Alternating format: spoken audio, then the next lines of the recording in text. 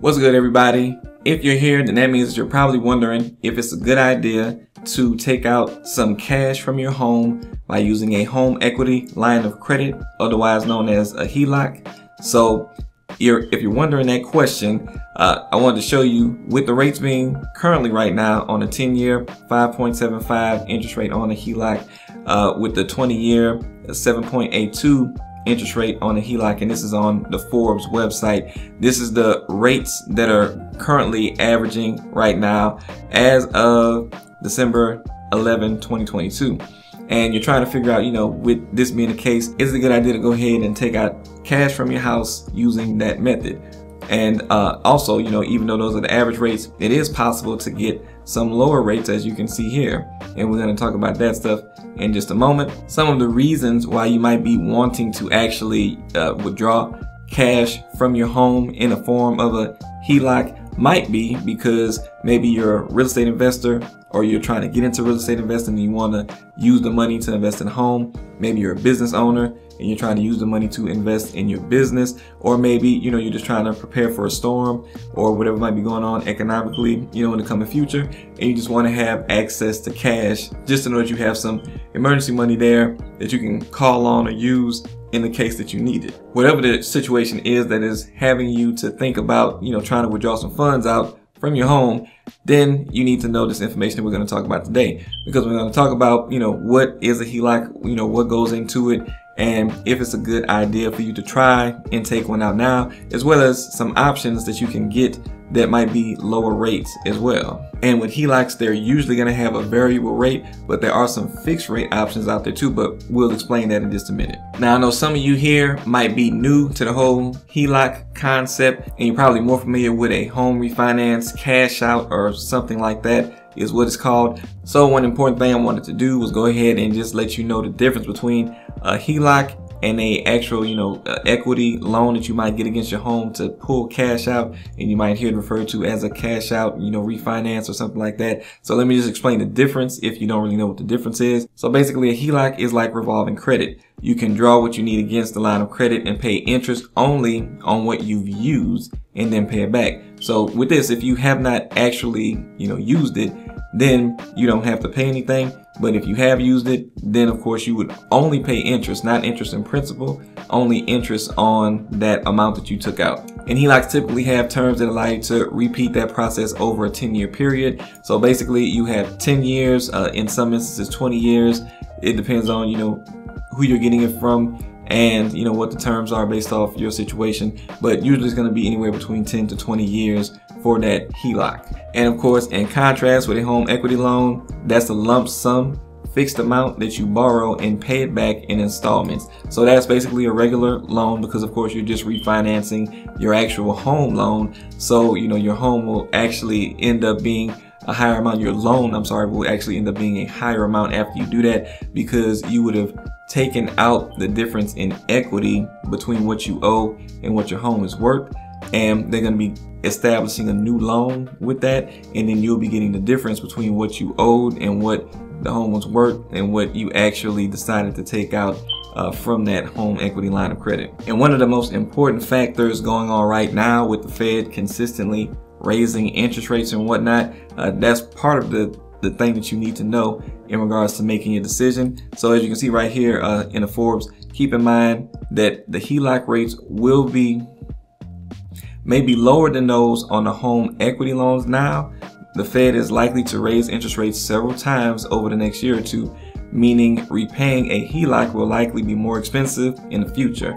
So what that means is basically with HELOCs, you have a variable rate on most loans. Again, I'm gonna, oh, I'm sorry, lines of credit. And again, I'm gonna show you some options that do have a fixed option, but most of them are gonna be variable. So basically every month when the Fed decides to change interest rates, if they increase those rates, which they do plan to increase those rates, then your actual payment on that will end up being increased because it's whatever the prime rate is plus, you know, everything else that the lending institution adds on top of the prime rate. Now they did also list on here some examples of payments. So let's say you had a 10 year HELOC at that 5.75% then you took out 25,000, you know, let's say you had 50,000 in equity, you took out 25, your payment on that would be about 119, so about 120 is what you'll be paying monthly in interest on 25,000. If you got a 20 year HELOC at that 7.8%, you would be paying about $163. So that's what you'd be paying on $25,000 that you might have taken out from that HELOC. Now, I want to point out a few important things that you do need to know about the HELOCs.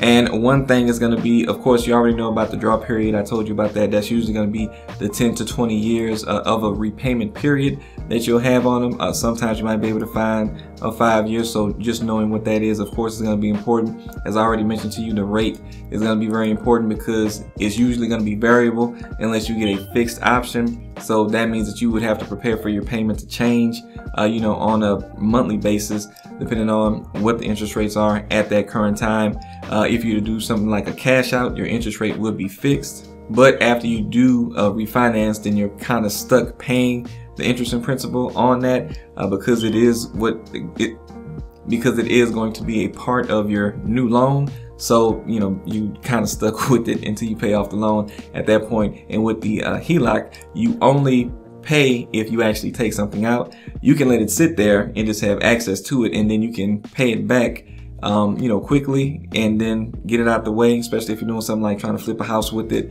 or, you know, trying to invest in something for your business that you're going to get a return and then you can put that money back.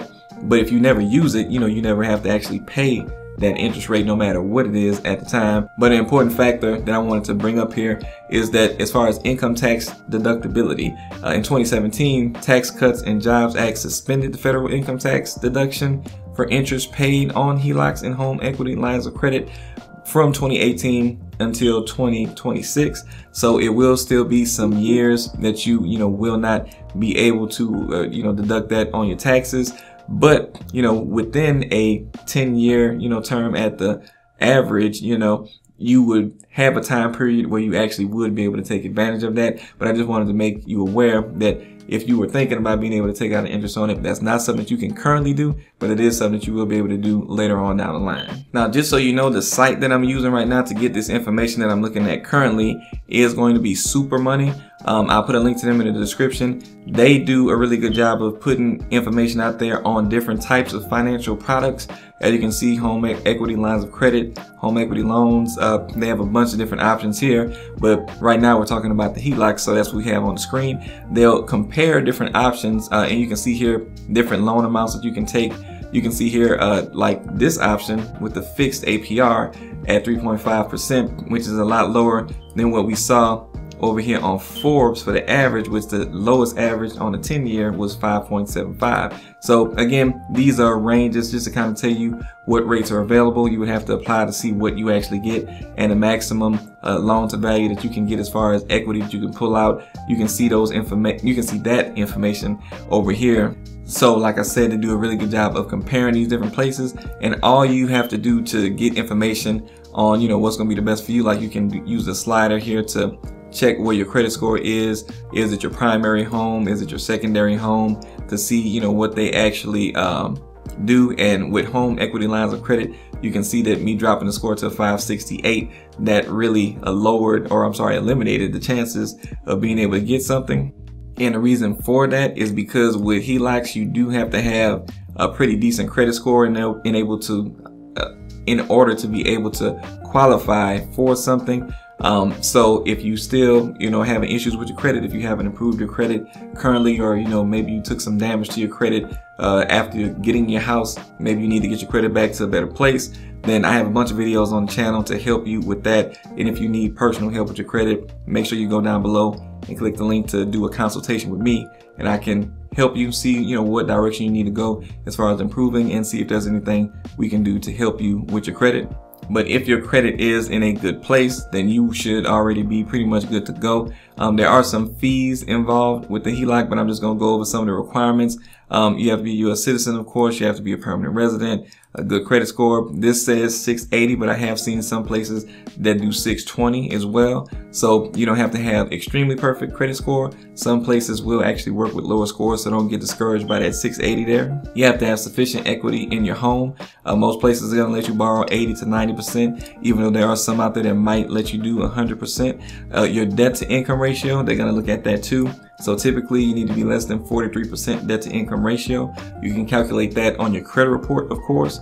All you have to do is just look at what payments show up on your credit report. Like look at any car loans you have, personal loans, um, your mortgage, and look at any payments on credit cards that you have, add all those payments up, and then you're gonna take your monthly income, you're gonna divide those two together, get your debt to income ratio, but more than likely they're gonna calculate that for you anyway. But that's just if you wanna get an idea of what that is.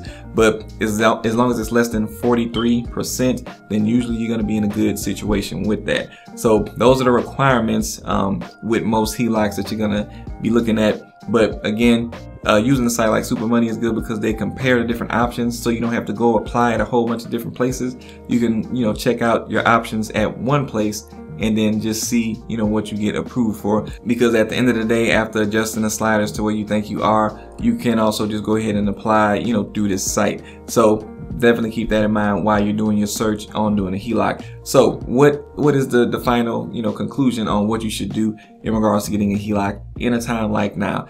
I would say, even though the interest rates are going to be increasing over time, uh, because of the uncertainty that we do have going forward, looking at the economy, it wouldn't hurt to have access to money that you don't have to pay unless you know you actually have to take something out and use it um, you can have that money just sitting there. And whatever the case may be if you have an investment that you can invest it in whether it be uh, real estate whether it be a business venture that you're going to try to get a return on uh, of course if you're planning on using it you don't want to just use it for a random expense like going buy a car. You don't want to use it for uh, just a vacation that you've been wanting to go on, of course. Uh, you don't want to use it to rack up on a whole bunch of stuff during the holidays either. What you want to use it for is something that's going to bring you back money so that if you do use it, it will, you know, you have a way for it to come back to you. And other than that, you want to just hold on to it just in case you need access to the cash and the capital. And then, you know, if you don't need it, you hadn't paid anything on it. If you do need it, then you'll just pay the rates unless you end up getting uh, one of these options that actually do have a, um, a fixed rate. Now, hopefully this information was informative for you. I'm Will Frazier. If you like information like this, make sure you hit the thumbs up on this video so YouTube can show it to more people. Subscribe to the channel and turn on notifications so you'll be notified of any new videos I drop just like this. At the end of the day, you have to make your own decision on what's going to be the best for you in your situation in your family. So I do hope that this was enough to make for you to make the right decision. Um, but I will see you guys next time on the next video. Until then, watch this next video, which will give you some more helpful information.